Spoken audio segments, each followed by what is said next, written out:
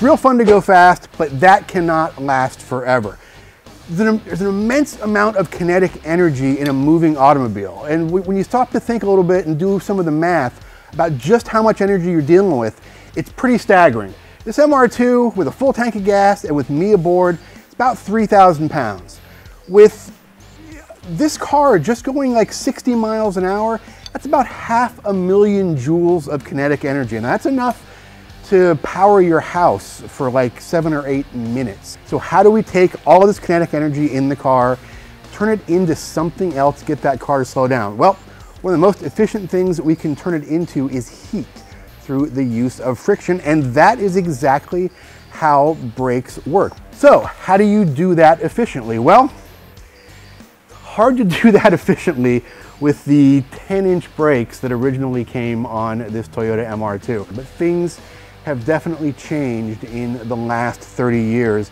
And we have a little bit more technology available to us today. And we're gonna bolt some of that technology on today in the form of these 12.2 inch Wilwood disc brakes. So you're saying, hey, I'm looking at the Wilwood site, I do not see a kit for the 1991 MR2. Well, you are correct. Because while Wilwood has off-the-shelf kits for real popular cars like Mustangs, Camaros, Challengers, stuff like that, they do not manufacture kits for everything. But that's where guys like Alex Wilhelm come in from Wilhelm Raceworks. Alex manufactures these very cool adapter brackets as well as great stuff like hoses and all the hardware you need to bolt a set of Wilwood forged Superlight calipers or some of their other calipers in their lineup onto your MR2. So how's Wilwood feel about this? Well, they're actually really stoked about it because that's one less set of products they have to keep for a niche vehicle like an MR2 or an S13 or a Sentra or a Civic or something that's just a little bit off the beaten path, but still very popular with a niche of enthusiasts. So they embrace these guys with the boutique specialty manufacturing outfits that build really cool stuff to put their brakes onto popular cars. So what's it cost to upgrade your MR2 with some cool hardware from Wilwood and Wilhelm Raceworks? Well, all in for a kit from Wilhelm, you're looking at $2,300, which includes all of his bespoke custom parts, hydraulics, hardware, and all of the stuff from Wilwood, including custom machined aluminum rotor hats from Wilhelm as, as well. Now, you can buy just the specific stuff from Wilhelm for around $1,000.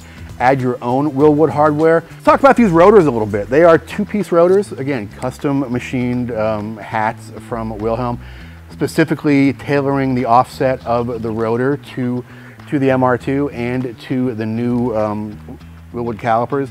And also, notice they bolt on here from the back. Safety wireless setup. These are uh, jet nuts, K nuts. They are they are a captive nut that holds these hats onto this rotor. Now, this is an aluminum hat on an iron rotor. So what's gonna happen is when these get hot is that aluminum and that iron are going to expand and contract at different rates. Not necessarily a bad thing, but with any two-piece rotor, you wanna be very conscious of thermal expansion because the wear point on multi-piece rotors that are not floating rotors is going to be right here at all of these junctions. It's very um, likely that if you thermally shock these rotors by heating them too fast, cooling them too fast, that eventually, not immediately, but eventually you could start to see failure points right at these junctions because this and this are expanding at different rates. One of the big upgrades we're making is to a multi-piston setup. In this case, four pistons per corner with these Wilwood calipers here. They're also considerably lighter. In fact, the entire system, even though it is much, much bigger, has much more friction area, is considerably lighter than the old system we are taking off. Total weight for the new system, uh, rotors, calipers, adapters, pads, hydraulics, a little bit over 70 pounds, 70.3, 70.4 pounds, according to our intercomp scales.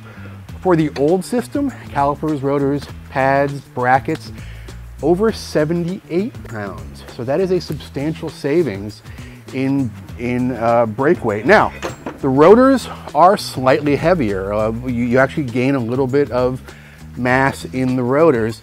So you're adding a little bit of rotational mass, but I will take that trade-off for increased efficiency, increased size, and an overall reduction in weight of the system. So we have covered all of the details. The only thing left to do is to bolt these babies on. Mechanically, this is not a super complex operation. You only need a couple of wrenches.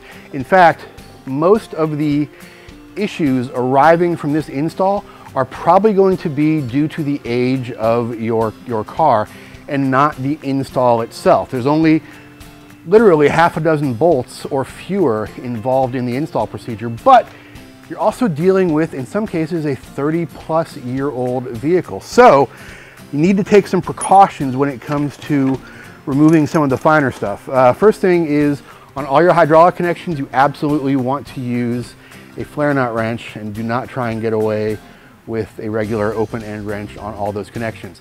In fact, we had to cut one of the connections off of uh, one of our other, other brakes, which we previously did while we were getting ready to, to, to shoot this. Um, even using the flare nut wrench, that 30 year old tube nut on there, rounded off, we had to cut it off, reflare it, put a new piece of, uh, of, of tube on there. So that is where your issues are going to come from in an install like this. The actual install, very simple and straightforward.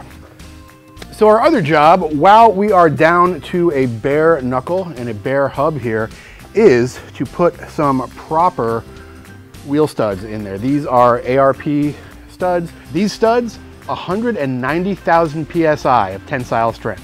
But much like brake rotors, they're also wear items in their own.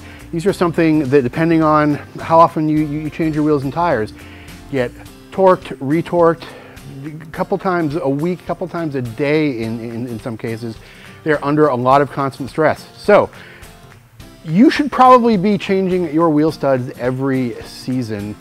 We're gonna change our OEM wheel studs out though for these ARPs, which on this car is a very simple matter of removing the old studs. Just takes a little bit of persuasion with a heavy object and inserting the new studs, which takes just a little bit of persuasion with an electric impact or a hand wrench. So these particular studs are uh, actually out of the ARP catalog. They are specified for the Lexus IS 300, not the MR2. But uh, ARP doesn't specify a specific set for the MR2. These have the correct knurl diameter on them. They have the right length. The only thing they didn't have was the bullet nose ends. But we talked to ARP, we said, hey, can we chuck these up in our lathe, take a few of the threads off the end, chamfer the, uh, the end a bit, will that, you know, do any, any damage? They said as long as you trust your lathe skills, you are totally okay to do that. The only thing they recommended to us was make sure to coat the end of these studs with something because now the electroplated coating has been essentially, essentially machined off the end of, of this nut. So we just hit them with a little bit of clear coat and we will continue to do that throughout the uh, season. But we have a um, little homebrew set of bullet nose studs for our MR2. Now to install them, we're just gonna slip them in there and we're gonna use a, um, a 14 millimeter nut as, uh, as a fulcrum. Slide it down over there and then take our 12 millimeter nut, which is just a regular nut, not one of our, our, our lug nuts. Our studs are in place. We are ready to bolt our new brakes on. We got things cleaned, cleaned up a little bit, some of our spilled fluid with a little bit of CRC brake clean time to bolt the new kit on. Now, these brackets from Wilhelm Raceworks make the job super easy. Theoretically, you could build your own brackets. Um, if you're an excellent machinist, if you are an excellent, excellent measurer, and if you have some working knowledge of mechanical stresses and loads, by all means, uh, knock yourself out. Alex Wilhelm has all of those things in spades, and he has done the hard work for you though. By the time you actually figure out what it's gonna cost to build these in time, materials, and effort, much easier to let somebody who's uh, smarter than me certainly do the hard work for us. And you can see even tiny little details like uh, the fact that these bosses here are clearanced to properly fit around the, the uh, mounting ears here. Everything just fits really, really nice really slick and makes this job super easy. We have our custom bracket in place. We have our Wilwood rotor with our custom Wilhelm Raceworks hat in place. Time to put the calipers on. Now, you may notice that these calipers have four bleed screws on them. You're like, hey, What's up with that? Why are there so many bleed screws on this caliper? Which ones do I bleed? Well, pretty cool answer to that is these calipers are designed to be mounted in any position whatsoever. They are universal mounts. You can mount them on this side with these bleed screws up. You can mount them on this side with these bleed screws up. You're only going to use the top bleed screws. Now you also have pistons on both sides of these calipers squeezing from both directions, meaning you have a much more even clamping force on those rotors, not like that single-sided and then sliding caliper clamping force we had with the stock brakes. So you're gonna have to bleed both sides of this caliper. Start with the inboard side first, then move to the outboard side when you're bleeding the air out of these calipers, getting ready to take it out on track. All right, so the caliper's in. Uh, we've got our hydraulic lines that um, are custom, custom made. They come to you in the Wilhelm kit. Another cool thing about these Wilwood, these, uh, these race style calipers, is the pads just easily, simply drop in from the top. You don't have to take the caliper off. You just take the bridge bolt out, drop the pads in, you're good to go. Something else very cool is we're using the same style of caliper front and rear. So the pads on the front and the rear of the car are identical. This is not a pad that we would choose for a daily driver, these BP20s, but for something that we're gonna go out once in a, in a while on the weekend and have fun with. But we really wanna focus on it being a autocross slash time trial car. This is a more appropriate pad. So in uh, less than an hour, uh, including a lot of uh, stopping to, to film stuff, we have this corner removed and installed. This is a project you could easily complete at home within the span of an evening or an afternoon. Again, as I said before, the biggest problems you're gonna face with a brake swap like this are probably going to be based on the age and the condition of parts that are already on the car. It's, it's gonna be stuff that you're going to have difficulty removing and most likely uh, some of those tube nuts that are in the existing brake connections. Installing this stuff from Wilhelm Raceworks and Wilwood, absolutely a snap, uh, went quick, everything fit superbly. It's a well-engineered kit. We are excited to get it to the track. Let's talk about track a little bit and what this does to your car from a competition perspective.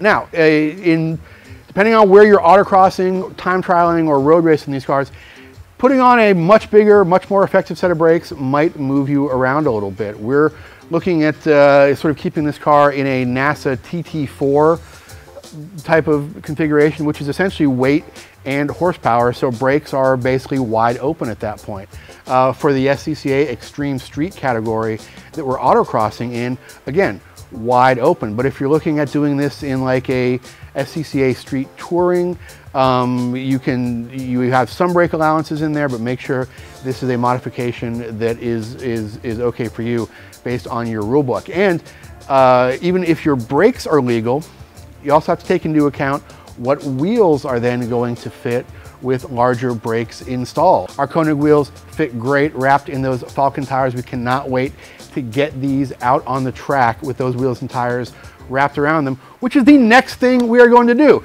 Chris is going to help me bleed these brakes, and then we are going to go to the track to the Florida International Rally and Motorsports Park, the official test track of Grassroots Motorsports, and see how they work.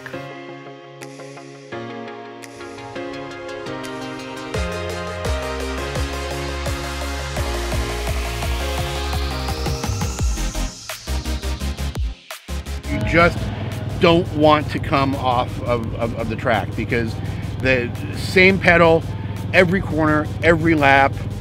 Once they get up, up to working temperature, it is just always the same reaction. And you can you can adjust speed in a corner with them. You can it's like you can feel what each individual wheel is doing so well. And the the the the initial bite is is very very well balanced to the car. With you know being being a mid-engine car, you've you've, you've got to get that weight forward to get those get those front brakes working. If you're especially if you're under hard acceleration, you've already got a light front end. You, know it, it's not like a, a big heavy car with the engine in the front and the transmission in the front where you've already got a big load on those front wheels. Um, so you've got to get that load to the front and the the bite point and the the initial application of, of these brakes is so well suited to the balance of the car. Um, all right, I may not have the most sensitive right foot in the world, but even I know that our braking performance is substantially improved, even in today's uh, conditions where there's still a few patches of water out there, it just, it, seat of my pants, ball on my feet, feels much better. But the data is going to tell the real story. So we're going to head back to the shop. We're going to download some of our data from today's session, download some of our data from previous session, look at some of these brake traces and see what the numbers say and how our brakes are actually performing. So the effectiveness of these brakes on track is not really evident in your first lap or your best lap, although it is. We're going to look at that in, in one second, but it's evident in a lot of little stuff. And the first thing we can see here is right between 1600 and 1800 meters, where we are entering a long left-hand sweeper. And we can see the red trace is the Wilwood brakes, the blue trace is our old brakes. And we can see how much speed we were giving up before we even got to that corner because we didn't have the confidence with the brakes in trying to trail brake properly into that corner. So we're giving up a lot of speed there just on the entry, which was carrying through the entire first part of that corner.